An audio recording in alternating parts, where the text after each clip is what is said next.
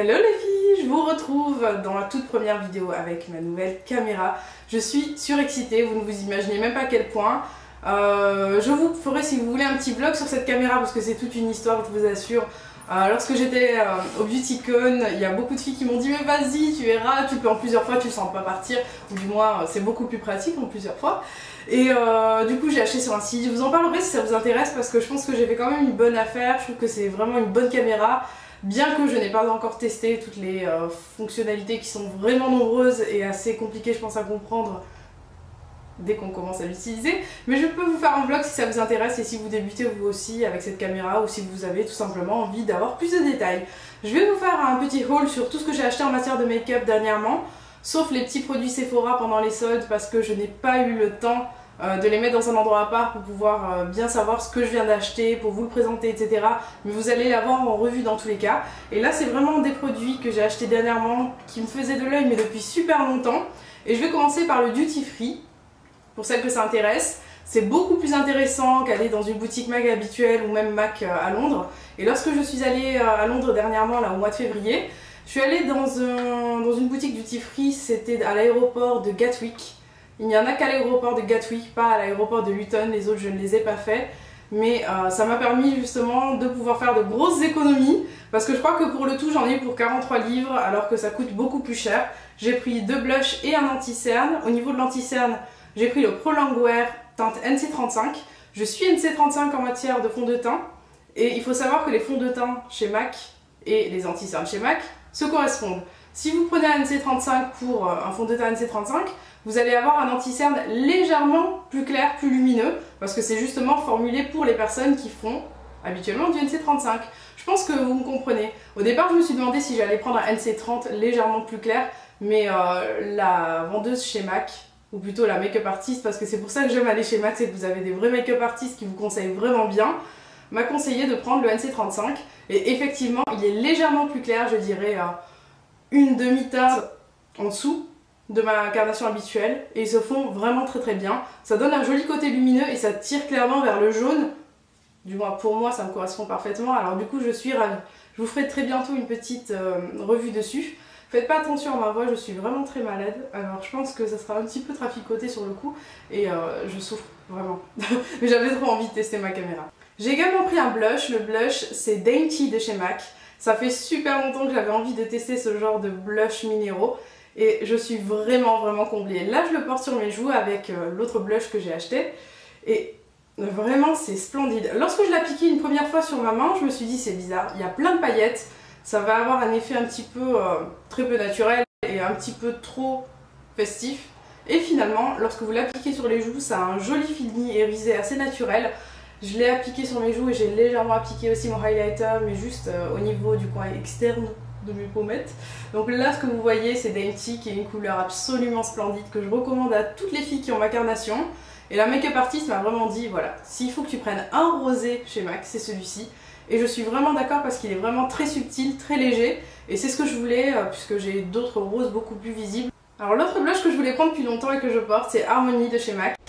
Et c'est vraiment un blush splendide. J'hésitais à le prendre depuis longtemps et euh, lorsque je l'ai vu sur les Pixie Woo, je me suis dit que comme elles étaient vraiment très pâles, ça me correspondrait pas. Et ben finalement, je trouve que le côté contouring naturel me correspond beaucoup mieux qu'un contouring avec quelque chose de marron foncé que je mélangerai longtemps, parce que c'est ce que je recherche en ce moment. Et je trouve qu'on a un joli contour très naturel, et ça me correspond. Vraiment, j'aime beaucoup ce Harmony, qui est un marron qui tire vers le beige, et non pas un marron qui tire vers le rouge.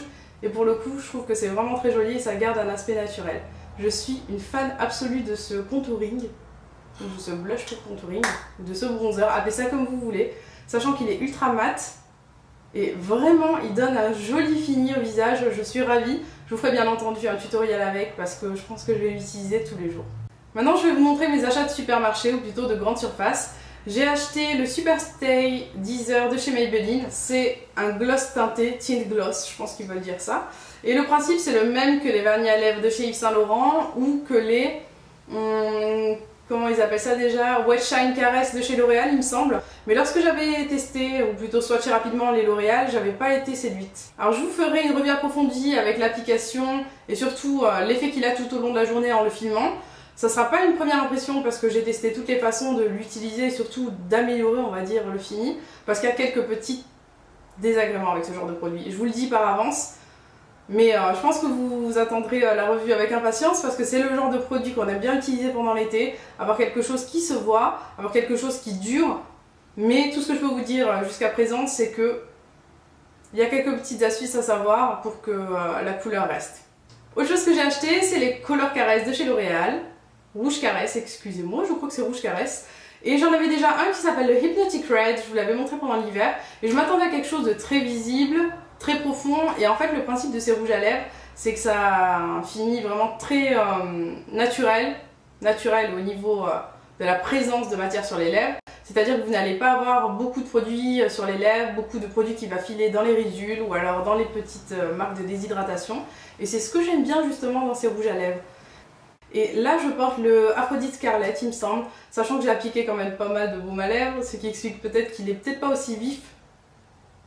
Je verrai euh, en édit dans la vidéo euh, que ce qu'il est réellement. Je vous ferai bien entendu des swatchs de ces rouges à lèvres. J'ai le Aphrodite Scarlet et le Dating Coral. Et c'est juste des tueries. Je vous le montrerai prochainement dans une revue approfondie avec des swatchs. Et je pense que je m'arrêterai pas là dans mes acquisitions de rouge caresse de chez L'Oréal. Concernant mes achats sur eBay US, alors euh, récemment j'ai acheté deux rouges à lèvres. Je voulais m'acheter les Color Whisper, finalement je les ai pas achetés parce que j'ai vu euh, quelques critiques dessus qui disaient que c'était peut-être pas aussi pigmenté que certains euh, rouges à lèvres de chez Revlon, les lip butter que j'aime énormément. Je pense que vous les voyez à l'arrière, ou peut-être pas vu que maintenant il y a le joli effet flouté de mon appareil photo. Trop contente.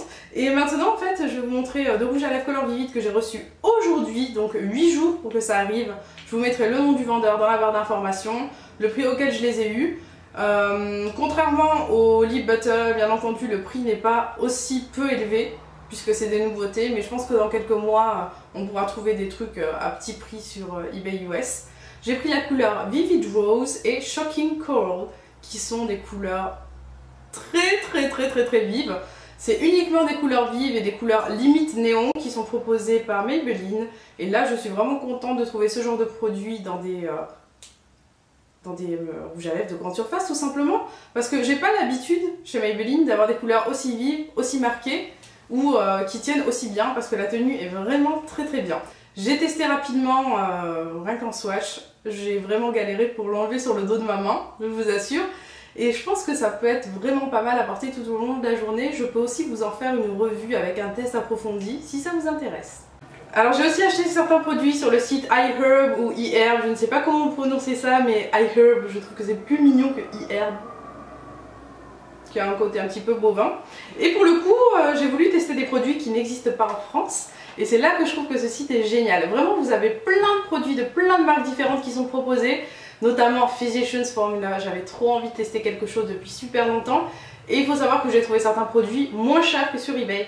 Et c'est là que je me suis dit que c'était quand même pas mal. Et bien entendu, bien entendu non, pas bien entendu. Si vous savez que je suis allée au BeautyCon à Londres et que j'ai rencontré les sœurs Pixie Woo, quand je suis rentrée, mon obsession c'était de tester leurs pinceaux. Je sais pas pourquoi, ça faisait super longtemps que je les voulais déjà. Et là je me suis dit bon, tu connais les Sigma, tu connais certains Mac, il est temps que tu testes un petit peu autre chose que tu testes ailleurs. C'est très français. Et euh, pour le coup, j'avais très envie de tester ces pinceaux qui sont faits par Samantha Chapman. Donc c'est euh, la sœur Sam de Pixie Woo. Elle est super cool d'ailleurs. Les deux sont super cool. Et euh, je me suis dit qu'il fallait absolument que j'essaie ça. Alors je vais vous présenter ce que j'ai pris. Mais avant, j'aimerais vous parler du site. Parce que le site, j'en avais pas du tout entendu parler. Je voyais juste sur Twitter certaines personnes qui laissaient des codes je me suis dit, bon, c'est des codes d'affiliation, c'est quoi? Pourquoi ces codes de 10 dollars? Je crois que c'est 10 dollars pour 40 dollars, d'ailleurs j'en ai bénéficié de cette offre. Et je trouve que c'est vraiment bien parce que du coup, la personne qui vous a donné son code récupère de l'argent euh, sur sa prochaine commande, ou alors un code, je sais plus exactement ce qu'est le deal, je crois que c'est un code d'affiliation. Et pour le coup, vous, si vous, avez commandé et que vous allez avoir bien entendu un autre code et que vous le donnez à une autre amie, vous allez aussi bénéficier d'une réduction. Donc au final, je trouve que c'est vraiment pas mal et que chacun peut y trouver son compte. Et vraiment, les produits qui sont proposés sont géniaux. Alors là, j'ai pris le kit qui s'appelle U-Base Flawless Co Collection. Donc c'est le kit comme ceci qui comprend euh, que des pinceaux pour le teint parce que j'avais pas envie de tester les pinceaux pour les yeux qui me branchaient pas plus que ça. Alors il y a le Detailer Brush, Pointed Foundation Brush, Buffing Brush et Contour Brush. Je n'ai testé que le Contour Brush, j'avais trop envie de le tester, je l'ai reçu aujourd'hui et pourtant je l'ai euh, utilisé pour appliquer euh, mon petit bronzer. C'est trop bien appliqué Et euh, c'est vraiment le meilleur pinceau à contour que j'ai pu essayer. Je vous ferai une revue approfondie dessus sur tous ces pinceaux et aussi une revue sur tous les pinceaux préférés ou plutôt tous mes pinceaux préférés, tous les pinceaux préférés que j'ai, tous mes pinceaux les plus favoris. J'aime bien parler pas français, parler pas français. Et euh, non, je déteste euh, avoir un français aussi incorrect. Mais euh, tout ça pour vous dire que je vais vous montrer tous les pinceaux que j'utilise, mes préférés, comment je les utilise et quels sont les meilleurs rapports qualité-prix selon moi bien entendu. Alors j'ai pris ce kit, j'ai aussi pris cette, petite pinceau, cette petite brush qui est le hum, Blush Brush. Alors aujourd'hui j'ai appliqué mon blush avec ce pinceau qui est absolument génial, c'est le pinceau spécial blush. Et vraiment ce sont d'excellents pinceaux pour le temps. Alors celui-ci je l'ai pris à part. J'ai également pris à part un autre pinceau qui est euh, le pinceau spécial fond de teint il me semble, qui est le Expert Face Brush. Donc voilà, c'est celui-ci. Je ne l'ai pas encore déballé. Je vous montrerai tout ça sûr, sûr, sûr et certain très bientôt. Le temps que je le teste et le temps que je fasse moi petite opinion sur ces pinceaux. Mais quoi qu'il en soit, je peux vous dire que les deux pinceaux que j'ai testés pour le contour et le blush sont absolument déments. Alors j'ai aussi pu tester, ou plutôt acheter une poudre puisque je n'ai pas encore pu la tester. Là j'ai essayé une poudre ancienne qui est celle de chez Elf. Euh, c'est la HD teinte jaune, yellow, pour pouvoir voir si jamais ça m'apportait euh, quelque chose d'assez naturel, étant donné que l'acné est revenu, mais avec un petit peu euh, de lumière. Et là en fait c'est une poudre qui est vraiment très couvrante que je voulais. Et c'est celle de chez Physicians Formula. Et la couleur c'est, je crois qu'il n'y en avait pas beaucoup, c'est Buff Beige. Et justement ce que je voulais c'est quelque chose de couvrant mais qui soit minéral. Et celle-ci est talc free, donc sans talc. Talc free, c'est génial Et c'est exactement ce que je voulais. Je voulais une poudre minérale. Je n'ai pas testé celle de chez MAC ni celle de chez Kiko. Je pense que je testerai malgré tout, mais j'ai vraiment hâte d'essayer celle-ci. Alors voilà, j'ai partagé avec vous tous mes derniers achats, que ce soit sur internet, en magasin. Quoi qu'il en soit, je pense que j'ai trouvé pas mal de bons plans, certains trucs qui me plaisent déjà par avance. Et tout ceci fera bien entendu l'objet de revues approfondies.